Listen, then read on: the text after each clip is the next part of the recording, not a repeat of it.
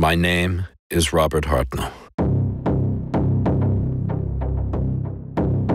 I'm a reporter in San Francisco.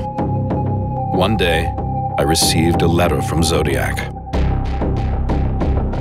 He wanted to meet me at Mount Diablo. Your own time.